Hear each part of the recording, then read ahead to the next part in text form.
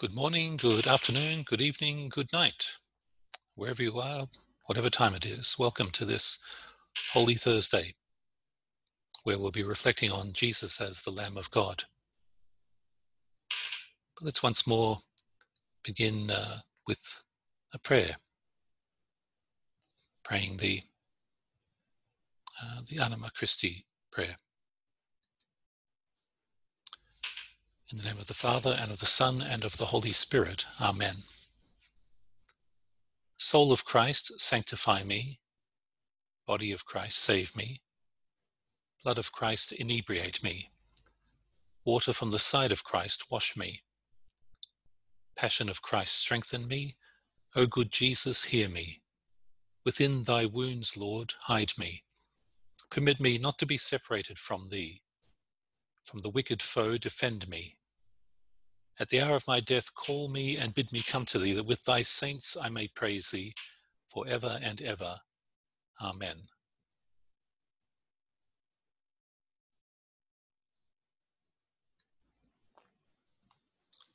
For the readings today, I'm going to take a section of the uh, first reading for uh, the evening's liturgy from the book of Exodus about the Passover, and from the second reading from 1 Corinthians about the Eucharist. So from the book of Exodus, chapter 12. On the tenth day of the month, each man must take an animal from the flock. It must be an animal without blemish, a male one year old. You may take it from either sheep or goats. You must keep it till the fourteenth day of the month, when the whole assembly shall slaughter it between the two evenings. Some of the blood must then be taken and put on the two doorposts and the lintel of the houses where it is eaten. That night the flesh is to be eaten, roasted over the fire. It is a Passover in honor of the Lord. That night I will go through the land of Egypt and strike down all the firstborn in the land of Egypt. The blood shall serve to mark the houses that you live in. When I see the blood, I will pass over you, and you shall escape the destroying plague when I strike the land of Egypt.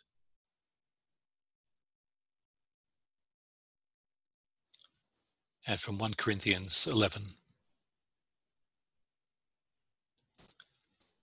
On the same night that he was betrayed, the Lord Jesus took some bread and thanked God for it and broke it. And he said, This is my body, which is for you. Do this as a memorial of me. In the same way, he took the cup after supper and said, This cup is the new covenant in my blood. Whenever you drink it, do this as a memorial of me. The word of the Lord.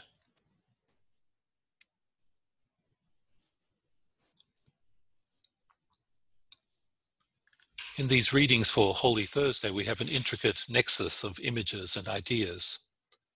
Passover, Last Supper, Eucharist. The Catechism speaks about some of these links in this rich paragraph from 1340. By celebrating the Last Supper with his apostles in the course of a Passover meal, Jesus gave the Jewish Passover its definitive meaning. Jesus' passing over to his Father by his death and resurrection, the new Passover, is anticipated in the supper and celebrated in the Eucharist, which fulfills the Jewish Passover and anticipates the final Passover of the Church in the glory of the kingdom. There's a lot packed into that paragraph, so let's just separate out the different elements a little in a diagram.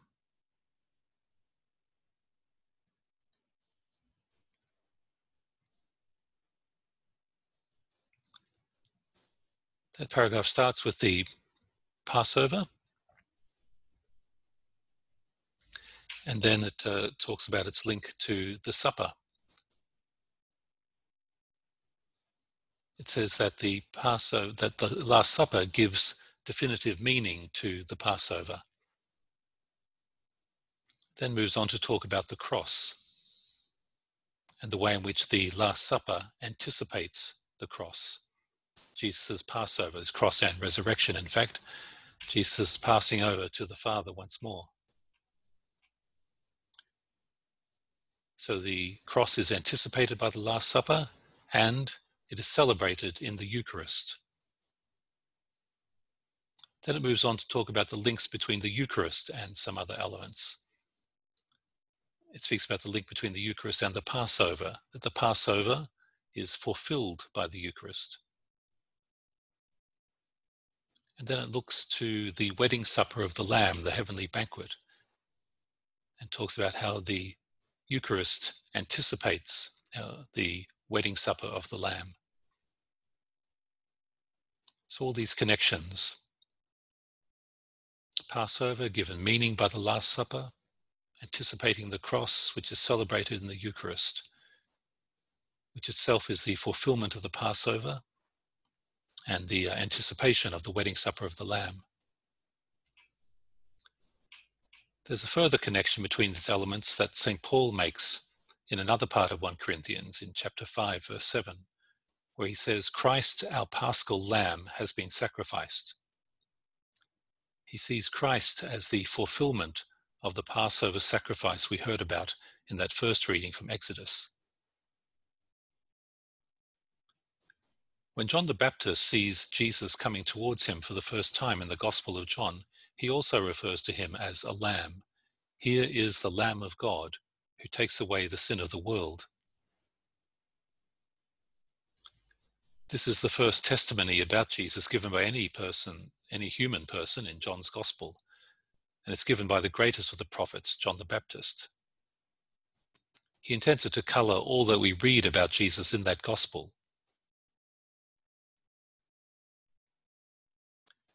That title, Lamb of God, becomes an important title for Jesus in the church, a title we use in three separate parts of the Mass.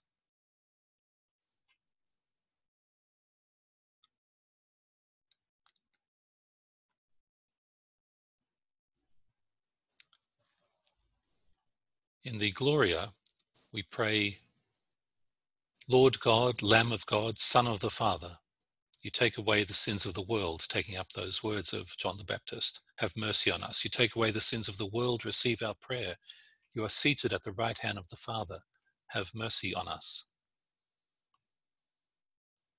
Later on, we have a part of the Mass which we call by the same title that the Baptist gave to Jesus, the Lamb of God, or the Agnus Dei. As the bread of life is broken so that we can receive him, we pray three times to Jesus in those words of John Lamb of God, who takes away the sins of the world, asking him to have mercy on us and to grant us peace. And soon after that, just before communion, the priest holds up the host and proclaims with the Baptist, This is the Lamb of God who takes away the sins of the world. So let's spend a bit of time looking at the three strands of thought woven into this image of Jesus as the Lamb of God, all of which combine to deepen our understanding of who Jesus is and that nexus of connections which arise in our readings for this celebration of Holy Thursday. We start with the Passover lamb, which we've already mentioned. When God was ready to set his people free from their captivity in Egypt,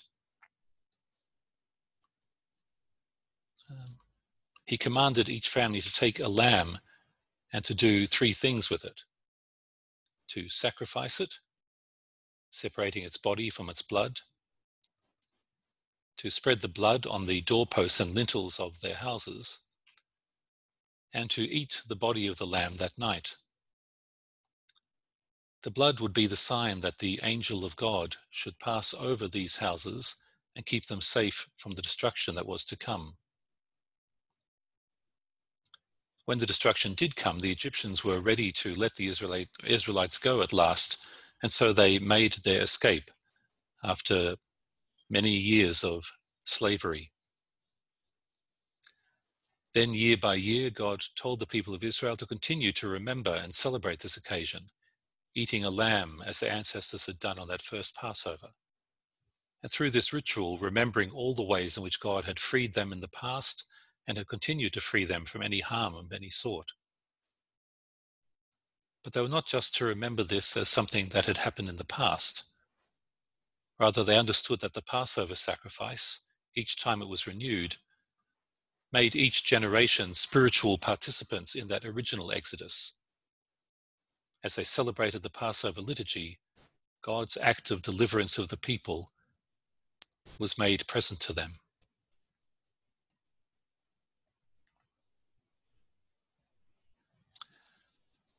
John the Baptist's naming of Jesus as the Lamb of God in the first chapter of John's Gospel opens up a range of connections that Gospel makes between Jesus and the Passover Lamb.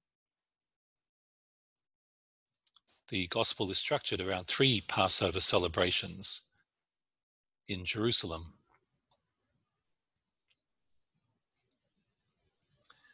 At the first Passover in John chapter 2, Jesus clears the temple at the second Passover in John chapter 6, Jesus multiplies the loaves and speaks about himself as the bread of life. The third Passover is mentioned in the Gospel for today, which I didn't read. It forms the setting for Jesus' passion and death. As these events are prepared for and then unfold, we're reminded on 10 separate occasions that it is the time of the Passover festival. But John doesn't just make a generic connection between Jesus and the Passover ceremony, he also makes specific connections between Jesus and the Passover lamb. The whole point of the Passover pilgrimage to Jerusalem was to take your paschal lamb to the priests, who would slaughter and prepare it for the Passover feast. John is at pains to point out that Jesus' crucifixion occurred precisely on this day of preparation, when the lambs were being slaughtered in the temple.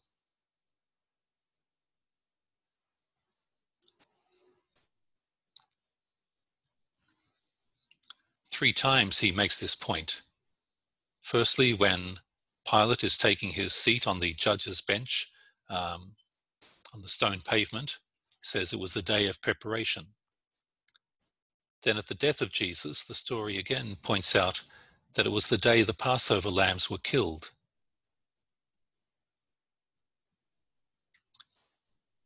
He bowed his head and gave up his spirit, since it was the day of preparation the Jews asked Pilate to have the legs of the crucified man broken and bodies removed. Here, by the way, the fact that Jesus had already died and did not need to have his legs broken points to another connection with the Passover lamb. For as we heard in that reading, for the Israelites that were commanded not to break any of the bones of the animals they were slaughtering for the Passover. And finally, when Jesus is taken from the cross, we're reminded once more that it was the Jewish day of preparation. For John, then, the first meaning of the Baptist statement, here is the Lamb of God, is that Jesus is the true Passover Lamb. Jesus is the one who brings to fulfillment God's plan of liberation and salvation, that plan which began that first Passover night when God protected his people from death and rescued them from slavery in Egypt. Jesus, like the Passover lamb, is about liberation, freedom, salvation. The second allusion in the Baptist's description of Jesus as the Lamb of God comes from the songs of the suffering servant in Isaiah, which are used as the first reading for many of the liturgies during Holy Week. They are texts that the church from its earliest days has found helpful in understanding the mystery of Christ's suffering and death. The lamb reference comes in the context of this passage from Isaiah, which is read at the Good Friday celebration of the Passion. He was despised and rejected by others, a man of suffering and acquainted with infirmity.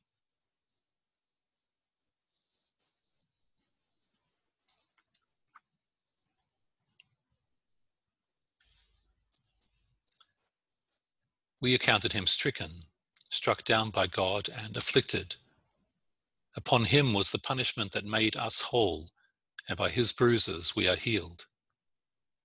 He was oppressed and he was afflicted, yet he did not open his mouth.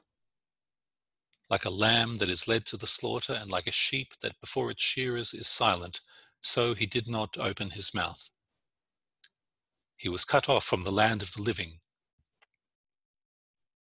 My servant shall make many righteous, and he shall bear their iniquities. He poured out himself to death.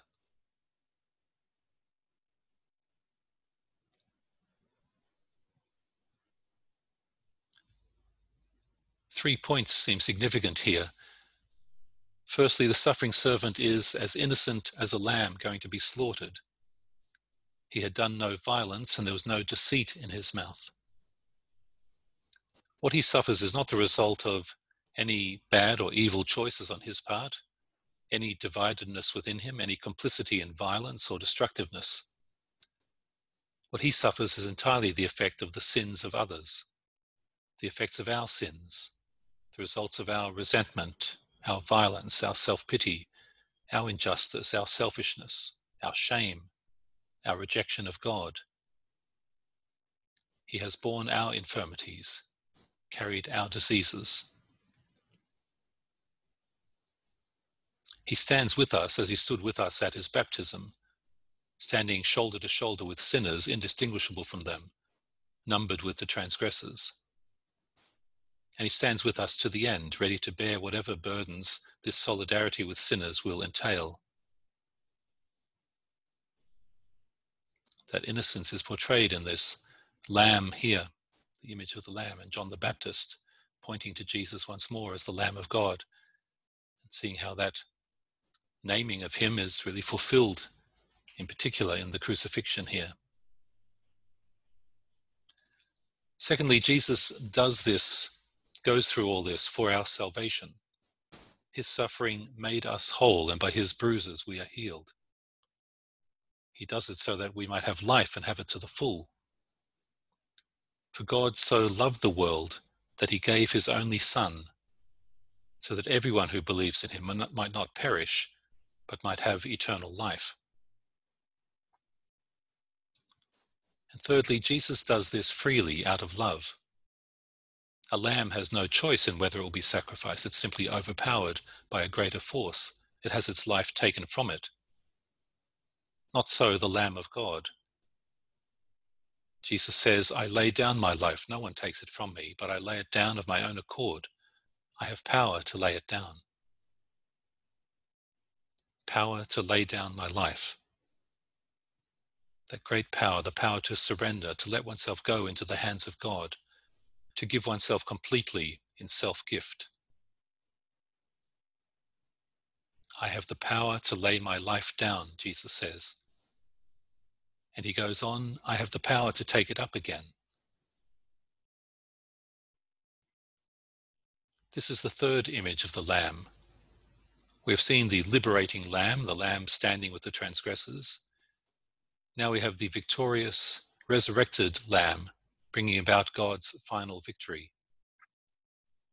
In Scripture, this lamb features in the book of Revelation. And again, there are three relevant points here. Firstly, this lamb had been slain. In Revelation 5, we read, Then I saw between the throne and the four living creatures, and among the elders, a lamb standing as if it had been slaughtered. And having been slain, having given up its lifeblood, that blood had become a source of life and blessing for the world. As that chapter goes on, the four living creatures and the 24 elders fell before the Lamb. They sing a new song You are worthy, for you were slaughtered, and by your blood you ransomed for God saints from every tribe and language and people and nation. You have made them to be a kingdom and priests serving our God, and they will reign on earth.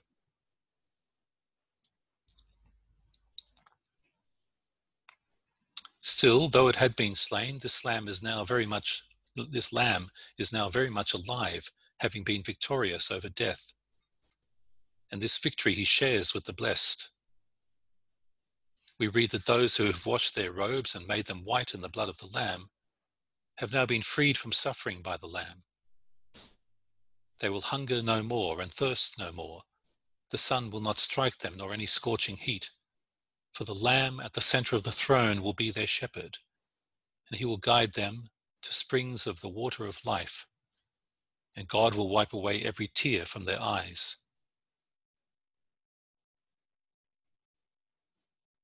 They are freed from all suffering and freed to be able to worship this Lamb, who is the center of heavenly worship. I heard the voice of many angels surrounding the throne. They numbered myriads of myriads and thousands of thousands, singing with full voice Worthy is the Lamb that was slaughtered to receive power and wealth and wisdom and might and honor and glory and blessing. Then I heard every creature in heaven and on earth and under the earth and in the sea and all that is in them, singing to the one seated on the throne and to the Lamb, be blessing and honor and glory and might forever and ever.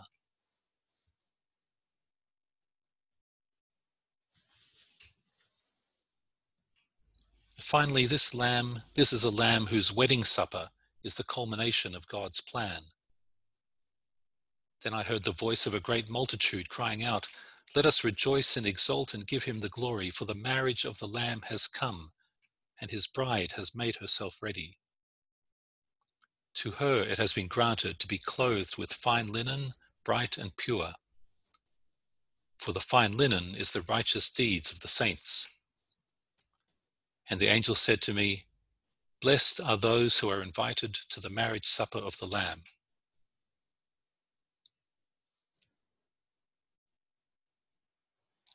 Then one of the seven angels came and said to me, Come, I will show you the bride, the wife of the Lamb.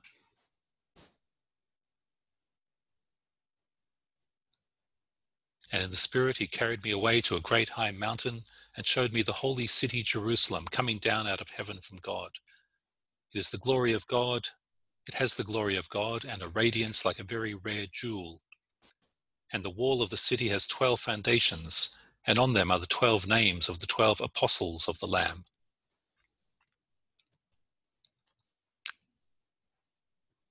And it continues its description of this heavenly Jerusalem, this bride of the Lamb.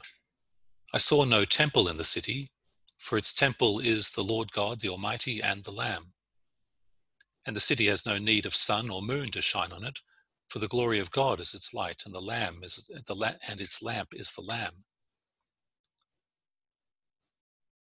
The nations will walk by its light. Its gates will never be shut. There'll be no night there. People will bring into it the glory and honor of the nations, but only those who are written in the Lamb's book of life and the angel showed me the river of the water of life, bright as crystal, flowing from the throne of God and from the Lamb through the middle of the street of the city. The throne of God and the Lamb will be in it, and his servants will worship him.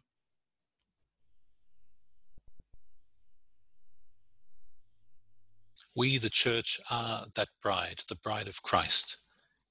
Intimate covenant communion with Christ is our goal, our end the fulfillment of our every real desire.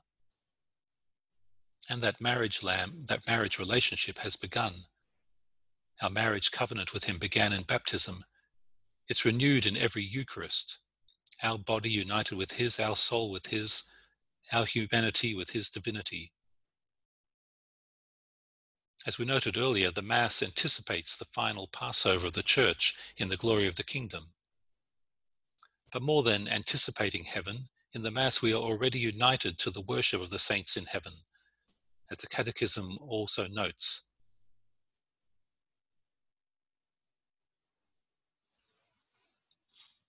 By the Eucharistic celebration, we already unite ourselves with the heavenly liturgy and anticipate eternal life when God will be all in all. This image is one attempt to capture something of that unity of us when we are at Mass, when the Mass is being celebrated with the heavenly Jerusalem, with the angels and saints there, heaven breaking open and earth being united. As that quote said, we already unite ourselves with the heavenly liturgy.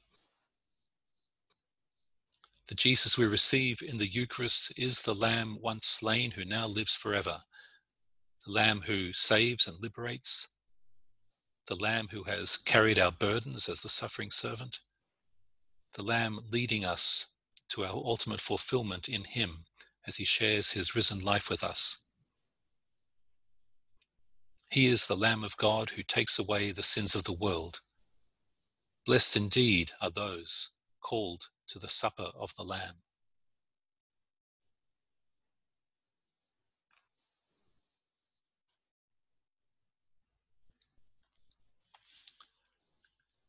So there we are, brothers and sisters. Once again, I'd encourage you if something from those different readings from the Passover story, from the account in Corinthians 11, 1 Corinthians 11 of the uh, Eucharist, one of the earliest accounts that we have in Scripture, uh, or from the the uh, suffering servant songs, which are in the readings for this week, or from the book of Revelation, the Lamb once slain, looking forward, I suppose, already to past the uh, crucifixion and suffering to the resurrection and the ultimate fulfillment in heaven. Wherever your heart is drawn,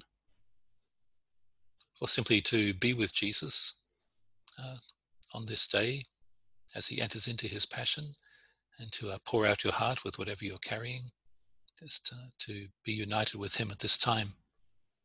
I'm praying for you over this time of retreat. I don't think I've mentioned that before, but uh, I'm uh, offering prayers for you, uh, and uh, I hope you're all going well. God bless you, and may the blessing of Almighty God come upon you, the Father, and the Son, and the Holy Spirit. Amen. Take care. Bye.